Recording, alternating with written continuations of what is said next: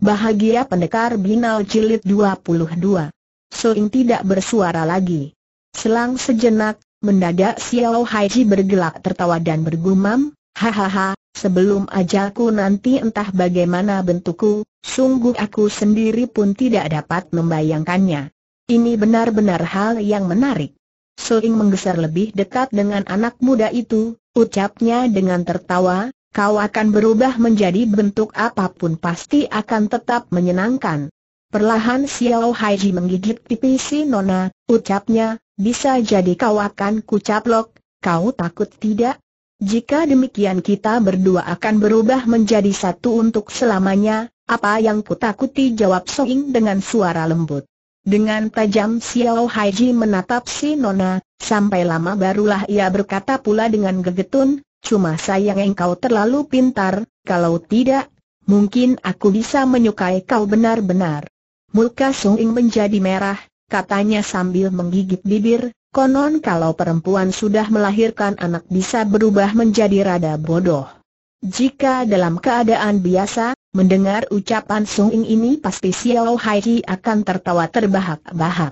Tapi sekarang ia merasakan hangat dan manisnya ucapan si Nona serta mengandung semacam rasa kecut, sesungguhnya ia pun tidak jelas bagaimana rasanya, yang pasti rasa yang demikian sebelum ini tak dikenalnya.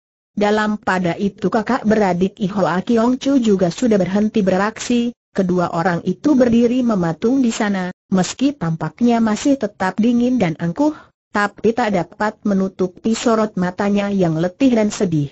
Entah lewat berapa lama lagi, tiba-tiba Xiao Haiji berdiri, ia mendekati peti mati batu hijau itu, ia angkat tutup peti mati itu dan dialingkan di bagian depan, Lalu ia mengumpulkan batu patung yang hancur berserakan itu dan ditumpuk di kedua samping peti mati. Ihoa Kiong Chu tidak tahu maksud perbuatan anak muda itu, makin dipandang makin heran mereka. Meski mereka ingin tahu, tapi mereka harus menjaga gengsi dan berharap Soing yang bertanya. Namun sorot metu Soing tampak penuh rasa mesra, dengan tersenyum ia mengikuti tingkah pola Xiao Haiji tanpa bersuara, Agaknya dia sangat jelas apa yang dikehendaki anak muda itu. Selang sejenak pula, akhirnya Lian Sing Kiong Chu tidak tahan, sementara itu dilihatnya kepingan batu telah ditumpuk oleh Xiao Haiji hingga setinggi manusia, ia lantas tanya, kerja apa kau ini? Xiao Haiji mengikik tawa, jawabnya, makan, minum, berak, kencing dan tidur adalah lima tugas rutin yang harus dilakukan oleh manusia. Meski sekarang kita tidak makan dan minum, tapi sebelum ini kita akan sudah banyak makan minum, barang-barang yang sudah masuk perut itu akhirnya toh mesti keluar.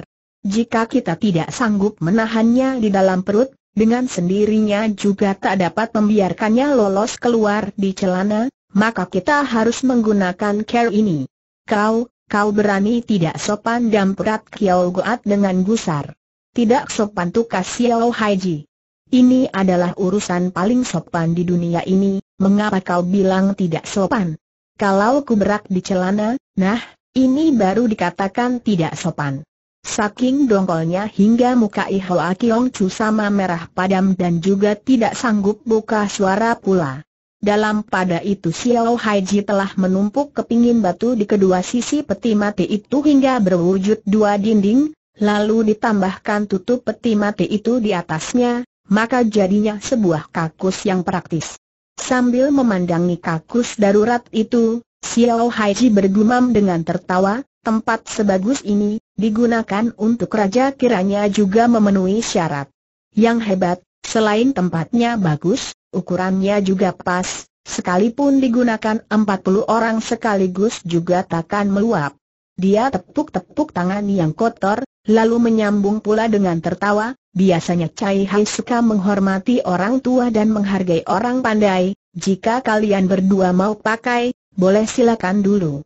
Dengan muka merah kedua Ihoa Kiong Chu membanting kaki terus berpaling ke sana. Xiao Haiji pandang Soing pula, tanyanya dengan tertawa, dan kau bagaimana? Aku, aku sekarang be, belum ingin, jawab Soing dengan jengah. Jika demikian, Maaf aku tidak sungkan lagi, kata Xiao Haiji dengan tertawa, ia terus menyusup ke dalam sana. Selang sejenak barulah anak muda itu keluar sambil meraba perutnya, ucapnya dengan gegetun, wah, lega rasanya. Mungkin tiada urusan lain di dunia ini yang rasanya lebih lega daripada habis kerja begini. Lalu ia kembali duduk ke tempatnya semula, ia memejamkan mata seperti ingin tidur. Akhirnya Song Ing juga tidak tahan, perlahan-lahan ia merangkak, dan melangkah ke sana. Tak tahunya, baru saja ia berbangkit, mendadak sebelah mata Xiao Haiji terpentang, katanya dengan menyengir, sekarang kau ingin? Kau, kau telur busuk, Omel Soing dengan muka merah. Memang aneh, bila mana tiada orang membicarakan hal-hal demikian, maka terkadang orang menjadi lupa. Tapi bila ada orang menyinggungnya, rasanya lantas tak tahan, makin dipikir makin kebelet. Entah sudah lewat beberapa lama pula, lambat laun wajah Lian Sing Kiong Chu menjadi merah juga. Selang tak lama lagi, kedua kakinya seperti mulai gemetar. Terdengar suara napas Xiao Haiji yang setengah mengorok, agaknya anak muda itu sudah pulas. Sekonyong-konyong Lian Sing Kiong Chu melayang ke sana secepat angin, mungkin belum pernah dia bergerak secepat ini biarpun dia sedang bertanding dengan lawan yang paling lihai. Mendadak Xiao Haiji mengikik tawa, katanya, nah, sekarang mungkin kau takkan bilang aku tidak sopan lagi, bahkan kau akan berterima kasih padaku. Memang banyak urusan di dunia ini yang tidak dapat dilawan oleh manusia. Betapapun agungnya, betapapun angkuhnya, betapapun keras kepalanya, terkadang juga bisa berubah sama seperti orang yang paling hina dan paling rendah, Sebab urusan-urusan yang dihadapinya ini tidak pandang kepada siapa pun juga, adil dan merata. Seperti halnya orang paling cantik dan paling buruk, sama-sama akan mengalami masa tua dan lapuk. Orang yang paling pintar dan paling bodoh juga sama-sama bisa merasakan lapar, kedinginan dan keletihan. Mungkin semua inilah kedukaan paling besar bagi umat manusia. Ketika Xiao Haiji tidak sanggup tertawa lagi, akhirnya kakak beradik Ihoa Kiong Chu duduk juga di lantai, apa yang terjadi hanya dalam dua tiga hari saja, tapi bagi mereka rasanya sama seperti sepuluh tahun.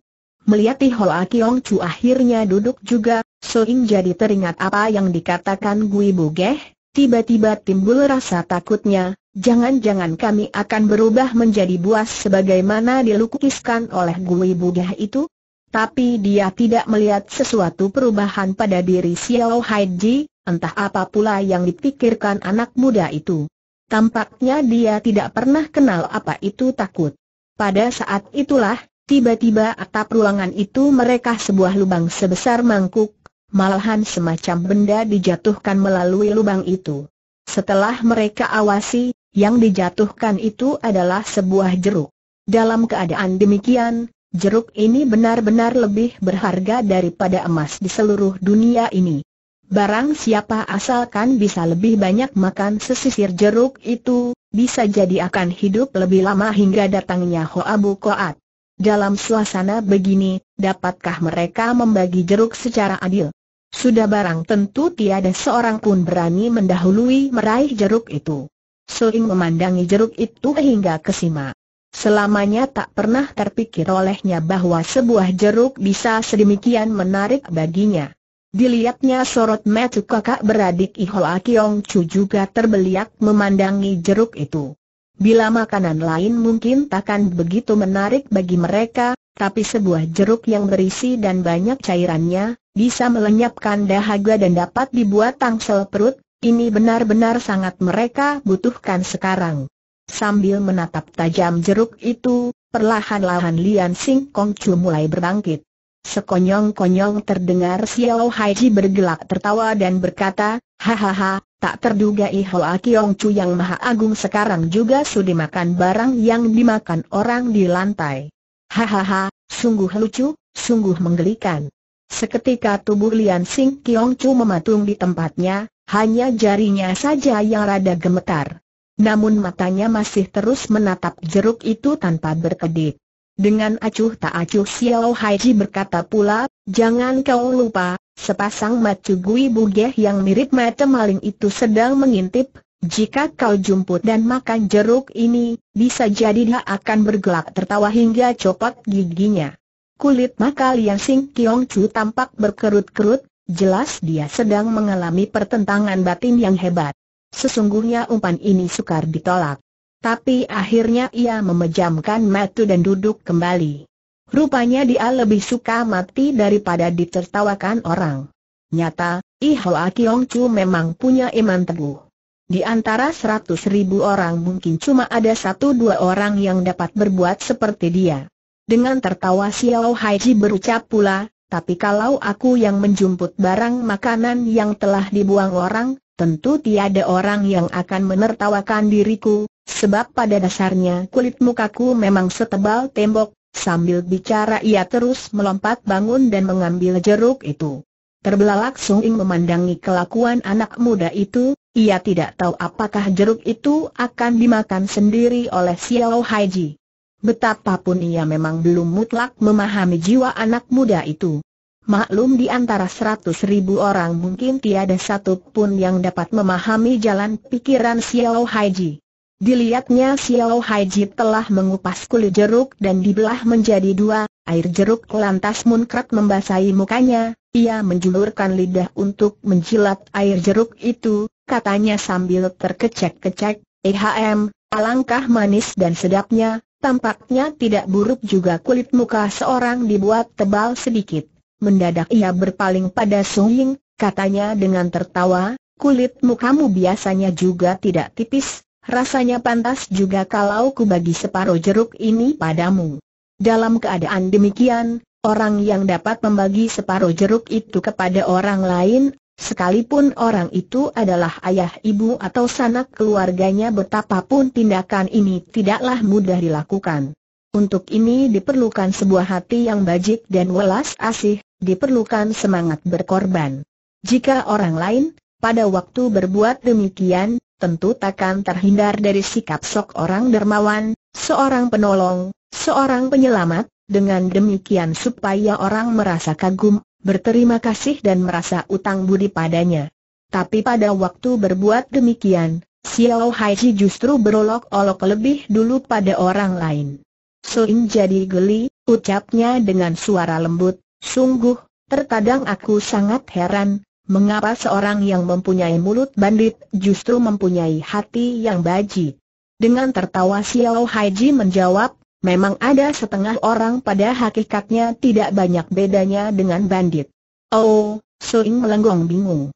Setauku, tutur Xiao Haiji, ada seorang yang pintar dagang, tapi lebih banyak spekulasi dan manipulasi, di mana-mana dia main tanah, tujuannya menghalalkan kera, dengan jalan menipu dan merampas dia telah mengeruk kekayaan berjuta-juta tahil perak. Dari kekayaan sekian itu dia mendermakan seribu tahil perak untuk rumah yatim piatu, dengan demikian berubahlah dia menjadi seorang sosial dan dermawan. Sambil menerima pemberian jeruk separuh itu Sungin berkata dengan tertawa, tapi kan lebih baik daripada manusia yang kikir, yang tak mau keluar sepeser pun. Xiao Haiji mencium separuh jeruk yang tersisa itu, tiba-tiba ia berbangkit dan mendekati Ihoa Kiong Chu, katanya dengan tertawa, biarpun kalian tidak memandang padaku kan juga dapat membau sedap jeruk ini, bukan? Kedua Ihoa Kiong Chu sengaja melengos dan tidak mau memandangnya. Tiba-tiba Xiao Haiji menyodorkan separuh jeruk itu ke depan mereka dan berkata, sekarang boleh kalian lihat, separuh jeruk ini adalah milik kalian. Ambil teriak Kiao Goat dengan suara serak, aku tidak, tidak sudi.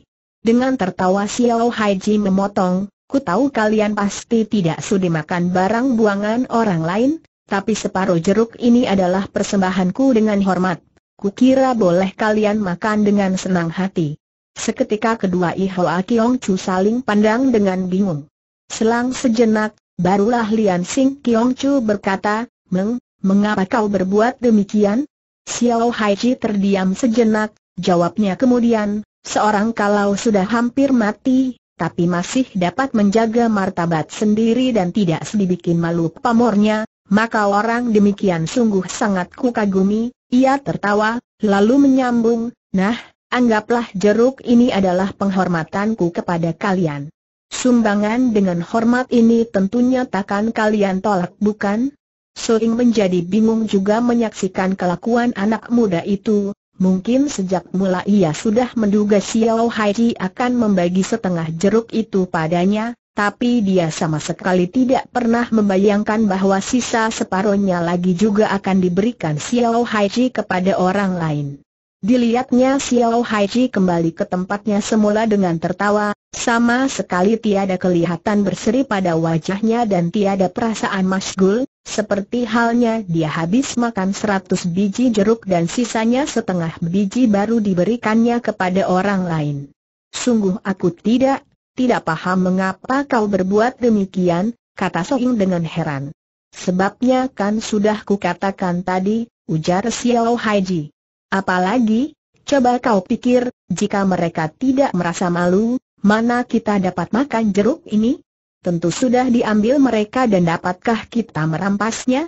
Jika sisa separuh itu kau berikan kepada mereka, mengapa yang separuh ini kau berikan padaku? Tanya Sung kalau jeruk ini dapat kutipu berarti jeruk ini punyaku, kalau punyaku dengan sendirinya akan kuberikan separuh padamu. Mengenai sisa separuh yang lain ku berikan kepada siapa kan urusanku sendiri dan tiada sangkut pautnya denganmu. Soing terdiam sejenak, ucapnya kemudian dengan rawan, engkau sungguh orang yang aneh, aku benar-benar tidak memahami dirimu. Jika seorang lelaki dapat dipahami perempuan sejelas-jelasnya, mana dia bisa hidup lagi ujar Xiao Haiji dengan tertawa. Soing lantas membagi pula separuh jeruk itu menjadi dua bagian, katanya dengan lembut, setelah kau berikan separuh jeruk ini padaku, maka jeruk ini pun sudah menjadi punyaku, kalau aku mempunyai jeruk, dengan sendirinya harus ku bagi setengahnya padamu. Nah, anggaplah ini pun tan, tanda penghormatanku padamu. Tidak, aku tidak mau, kata Xiao Haiji. Mengapa tanya Soing sebab bagianmu itu lebih besar, aku menghendaki yang itu, ucap Xiao Haiji. Soing melenggong, tapi lantas mengikik tawa, katanya, jika ku lahirkan anak mirip kau, mustahil aku tidak mati kaku dibuat jengkel setiap hari. Jika begitu lebih baik kau mati sekarang saja, ujar Xiao Haiji. Sebab apa tanya Soing dengan melengak. Sebab anak yang kau lahirkan pasti mirip aku, jika mirip orang lain, akulah yang akan mati kaku saking gemas. Kembali muka Suing merah jengah, sambil menggigit bibirnya mengomel, kau ini memang telur busuk kecil. Salah, telur busuk besar. Telur busuk kecil kan belum kau lahirkan. Mendengar ucapan Xiao Hai yang mengandung makna ganda itu, tanpa terasa Sung Ing mencubit si anak muda terus menjatuhkan diri ke pangkuannya, ia menjadi lupa bahwa di samping mereka masih ada I Hoa Kiong Chu, segalanya sudah dilupakan. Pada saat itulah Lian Sing Kiong Chu memejamkan mata perlahan-lahan, ujung matanya tampak basah, entah apa yang terkenang olehnya. Terdengar Xiao Haiji bergumam, Selanjutnya jika ada orang berani bilang padaku bahwa pada dasarnya manusia berwatak jahat, mustahil kalau tidak kutempleng dia dua kali. Bahwa sebuah jeruk terbagi menjadi empat, yang dapat dimakan oleh mereka masing-masing tidak lebih hanya dua tiga sayap saja, ini sama halnya tetesan embun di tengah gurun, pada hakikatnya tiada gunanya.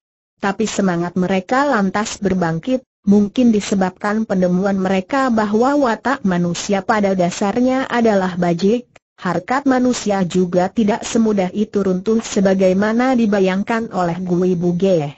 Akan tetapi mereka pun menemukan suatu kenyataan, jarak mereka dengan kematian sudah semakin mendekat, jelas ini kejadian yang tak dapat dihindarkan, siapa pun tak dapat mengubahnya.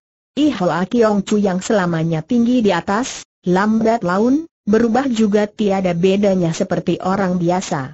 Sampai di sini baru Xiao Haiji merasa mereka ternyata juga manusia-manusia yang membutuhkan macam-macam keperluan dan memiliki berbagai perasaan, bahkan juga bisa mencucurkan air mata. Sekarang, maukah mereka membeber rahasia pribadinya? Terbeliak mata Xiao Haiji memandangi Ihoa Kiong Chu, tiba-tiba ia berkata, rasanya aku mempunyai akal yang dapat membuat kita hidup terus. Benar saja, Lian Sing Kiong Chu lantas bertanya, akal apa? Meski akalku ini rada memalukan, tapi pasti berguna, ucap Xiao Haiji. Ia merasa setiap orang sama mendengarkan urayanya dengan penuh perhatian, maka perlahan ia melanjutkan, walaupun Gui Buge orang hina dan kotor, tapi dia adalah seorang pecinta yang khusyuk, Buktinya sampai sekarang ia masih merindukan kalian dan tak pernah jatuh hati kepada perempuan lain. Sebab itulah kalau sekarang kalian menyanggupi diperistri olehnya, maka dia pasti akan membebaskan kita seluruhnya. Soin berjingkat kaget, sungguh tak terduga olehnya anak muda itu berani bicara demikian, dia mengira Ihoa Kiong Chu pasti akan berjingkrak murka, bukan mustahil akan membunuhnya. Siapa tahu Hoa Kiong Chu tetap duduk di tempatnya tanpa bergerak sedikit pun, bahkan memperlihatkan rasa gusar pun tidak. Gemerdep sinar mata Xiao Haiji, dengan perlahan ia menyambung pula, apa pun juga Guri Bugih pernah jatuh cinta pada kalian, tentunya kalian pun tahu bahwa lelaki yang dapat mencintai setulus hati seperti dia tidaklah banyak di dunia ini. Sembari bicara ia pun memperhatikan perubahan air muka Ihoa Kiong Chu, berbareng ia melanjutkan pula, jika kalian menjadi istrinya, paling tidak akan jauh lebih baik daripada diperistri oleh manusia-manusia yang tak berbudi, betul tidak? Kiao Goat Kiong Chu hanya menggigit bibir dan tak bersuara, sedangkan Lian Sing Kiong Chu mendadak berpaling ke sana, sekilas kelihatan matanya mengembang air mata. Selang sejenak barulah Xiao Haiji mulai bertanya lagi, nah, apakah kalian sudah sadar sekarang? Tiba-tiba Lian Sing Kiong Chu menatapnya tajam-tajam dan berucap sekata demi sekata, jika ucapanmu ini dikatakan beberapa jam sebelum ini, maka bagaimana akibatnya tentu kau tahu sendiri. Sudah tentu ku tahu, jawab Xiao Haiji. Sebab itulah ku simpan kata-kata ini dan baru ku katakan sekarang. Sebab aku pun tahu, seseorang yang mendekati ajalnya, care berpikirnya pasti akan berubah banyak. Jika begitu, kalau sekarang ku katakan Soing saja diberikan kepada Gui Bugeh, apakah kau setuju tanya Liang Sing? Sampai lama sekali Xiao Haiji tidak dapat menjawab. Tanpa berkedip Soing memandangi anak muda itu. Selang agak lama barulah Xiao Haiji menghela napas panjang, katanya, apa yang kukatakan cuma omong iseng saja, kan tidak kupaksa kalian harus menjadi istrinya. Boleh kalian anggap kata-kataku tadi sebagai kentut belaka. Suing menghela napas, ucapnya dengan suara lembut, asalkan aku sudah tahu dengan pasti pikiranmu, mati pun aku rela. Mati, sebenarnya bukan sesuatu yang sulit, terkadang jauh lebih mudah daripada makan nasi, ujar Xiao Haiji. Misalnya seorang berjalan di jalan raya, sekonyong-konyong dari udara jatuh sepotong batu dan mematikan dia, coba bayangkan, betapa mudah dan betapa ringan kerja matinya, boleh dikatakan itu tidak mengalami penderitaan apa pun juga, setelah menghela napas, lalu ia menyambung, tapi menunggu ajal, ini bukanlah pekerjaan yang mudah. Seorang patriot waktu tertawan musuh bila mana dia terus membunuh diri, Tindakan ini jelas tiada sesuatu yang luar biasa, tapi kalau dia sanggup bertahan selama berbulan-bulan atau bertahun-tahun, menolak segala pancingan dan bujukan, tapi tekadnya sudah bulat untuk mati. Patriot demikianlah yang selalu dikenang, namanya akan terukir dalam sejarah secara abadi. Bahwa Xiao Haiji mendadak bicara hal-hal yang berbobot begitu, tanpa terasa hati Sung Ing menjadi rawan juga. Ia maklum, hanya orang yang menunggu kematian saja yang tahu betapa menderita orang yang menanti ajal. Soing kucek-kucek matanya dan bertanya dengan suara tertahan, apakah kita sekarang benar-benar tiada harapan hidup sama sekali? Xiao Haiji termenung sejenak, jawabnya dengan suara tertahan juga, jika kita dapat bersabar, menanti kematian dengan tenang, mungkin akan timbul setitik sinar harapan.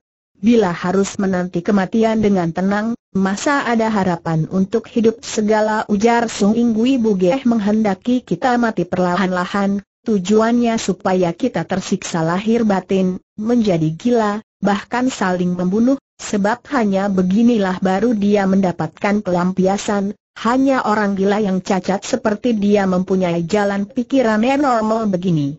Ya, memang betul, kata Soing tapi kita sekarang dapat bersabar dan bersikap tenang, jika kita mati dengan tenang begini, dia pasti tidak rela, pasti akan bertindak dengan Caroline pula. Kalau sudah begitu, maka tibalah kesempatan baik bagi kita. Betul juga, Soing manggut-manggut. Bila dia tidak menggubris kita, tentu kita mati kutu. Tapi sekali dia bertindak sesuatu berarti pula kita telah diberi kesempatan baik. Hanya, hanya saja kalau dia terlebih sabar daripada kita, maka celakalah kita, tukas Xiao Haiji. Soing berkedip-kedip, katanya, makanya sekarang kita harus mencari sesuatu akal untuk memancing keluar dia. Betul, memang begitulah maksudku, kata Xiao Haiji. Lalu akal apa tanya Sung Ing masa tak dapat kau pikirkan akal ini? Sung Ing menggigit bibir dan tak bersuara pula. Ih Hoa Kiong Chu tidak mendengar apa yang sedang diperbincangkan mereka, sejenak kemudian mereka melihat Xiao Haiji berjangkit, lalu memberi hormat kepada mereka kakak beradik, kemudian menghela napas panjang dan berkata, Aku Kang Xiao Hai dapat mati dan terkubur bersama I Hoa Kiong Chu, sungguh terasa sangat beruntung dan rupanya ada jodoh. Sekarang kita sama-sama menghadapi kematian, biarlah permusuhan kita yang sudah-sudah kuhapus sejak kini, sebab apa kalian menyuruh Hoa Bu Keat membunuhku dan apa rahasianya, aku pun tidak mau tanya lagi. I Hoa Kiong Chu menjadi bingung mengapa anak muda ini mendadak bicara demikian, mereka hanya terbelalak dan ingin tahu apa yang akan disambung pula. Xiao Haiji lantas berkata lagi, karena sekarang Hoa Bu Keat tidak berada di sini, tampaknya kita pun tiada harapan bisa lari keluar, terpaksa kumohon bantuan kalian agar aku diberi mati secara menyenangkan dan cepat. Kau, kau ingin bunuh diri tanya Lian Sing Kiong Chu. Xiao Haiji menghela napas panjang, ucapnya, betul, kan sudah kukatakan, aku tidak takut mati, tapi menunggu ajal, inilah yang membuatku tidak tahan. Seketika perasaan Ihoa Kiong Chu kakak beradik merasa tertekan. Mendadak Kiao Goat berseru dengan parau, tidak boleh. Mengapa aku tidak boleh membunuh diri? Keadaan sudah begini, memangnya kau ingin menunggu kedatangan Hoa Bu Keat untuk membunuhku jawab Xiao Haiji dengan tertawa. Sembari bicara diam-diam ia pun mengedipi Hoa Kiong Chu, jelas mengandung maksud tertentu. Kiao Goat jadi melengak, sedangkan Lian Sing Kiong Chu lantas menarik ujung baju Seng kakak. Lalu berkata, baiklah, silakan kau bunuh diri jika kau ingin mati. Terima kasih, Setiba di depan Raja Akhirat pasti akan kupuji kebaikan kalian, kata Xiao Haiji. Tiba-tiba Sung Ing menambahkan, aku punya dua biji obat racun, mestinya disediakan Gui Buge untuk muridnya. Ku tahu betapa lihainya racun ini, satu biji saja sudah cukup, ujar Xiao Haiji. Ing tersenyum pedih, katanya pula, bila kau mati, satu detik saja aku tak dapat hidup sendirian, masa kau tidak tahu? Xiao Haiji terdiam sejenak, katanya kemudian, baiklah, ingin mati marilah kita mati bersama agar tidak kesepian di tengah perjalanan menuju akhirat. Sekonyong-konyong seorang berseru, jangan, kalian tidak boleh mati. Kalian muda-mudi yang sedang dimabuk cinta, lebih lama hidup sehari berarti sehari lebih bahagia, jika kalian mati sekarang juga, bukankah sia-sia belaka hidup kalian ini? Jelas itulah suara Gui Buge. Xiao Haiji dan Soing saling pandang sekejap, diam-diam mereka membatin, tampaknya dia tak dapat menahan perasaannya. Maka terdengarlah Gui Buge berkata pula, kalau kalian merasa kesal boleh minumlah beberapa cawan arak. Hahaha, anggaplah arak suguhanku bagi malam pengantin kalian. Di tengah suara tertawa itu, dari lubang di atas lantas jatuh sebotol arak. Baru saja Xiao Haiji menangkapnya, menyusul sebotol lain jatuh pula. Hanya sebentar saja di pangkuan Xiao Haiji sudah ada 12 botol arak, bahkan tidak kecil botolnya.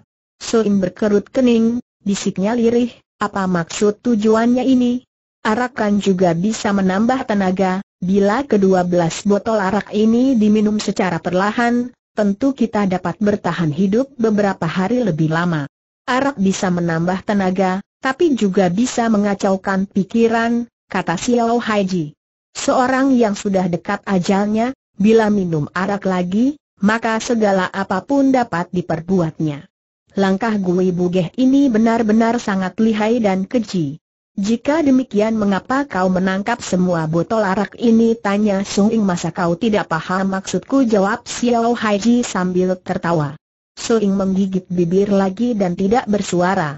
Xiao Haiji lantas menaruh enam botol arak di depan Ihoa Kiong Chu, katanya, tetap aturan lama, kita bagi separuh-separuh. Ambil kembali saja, Selamanya kami tidak pernah minum barang setetes arak, kata Kiao Goat Kiong Chu. Hah, jika benar kalian tidak pernah minum arak, maka sekarang kalian lebih-lebih harus mencicipinya barang dua cawan, ujar Xiao Haiji tertawa. Seorang kalau mati tidak pernah tahu rasanya arak, maka hidupnya boleh dikatakan sia-sia belaka.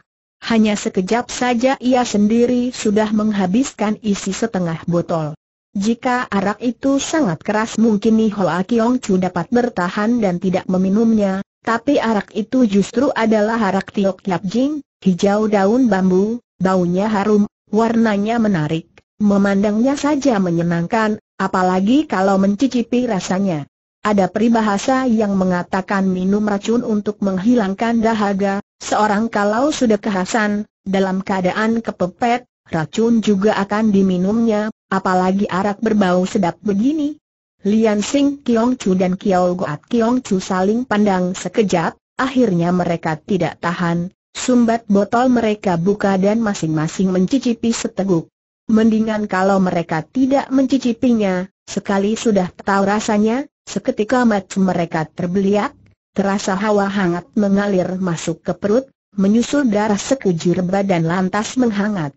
Setelah minum seteguk, segera ada dua teguk, ada dua ceguk tentu ada tiga ceguk dan begitu seterusnya. Xiao Haiji mengetuk-ngetuk botol arak sambil bersenandung, karena sekolahnya terbatas, dengan sendirinya senandung Xiao Haiji senandung kampungan. Namun Lian Xing dan Kiao Goat tidak ambil pusing, setelah minum beberapa ceguk arak enak itu, bahkan mereka mulai merasakan senandung anak muda itu sangat merdu dan menggairahkan. Tanpa terasa arak terus mengalir masuk ke perut kedua Ihoa Kiong Chu, hanya sebentar saja isi botol sudah tinggal setengah. Bahkan cara minum mereka bertambah semangat dan menyesal mengapa tidak sejak dulu-dulu mereka minum arak yang ternyata seenak ini. Ketika senandung Xiao Haiji berakhir, sementara itu satu botol arak sudah dihabiskan Lian Xing, dengan wajah merah ia mulai mengigau mengulangi senandung Xiao Haiji tadi sambil bergelak tertawa.